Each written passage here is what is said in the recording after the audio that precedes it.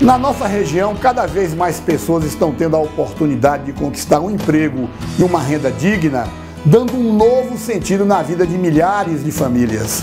Por isso, quero parabenizar todos os trabalhadores e trabalhadoras pelo seu dia.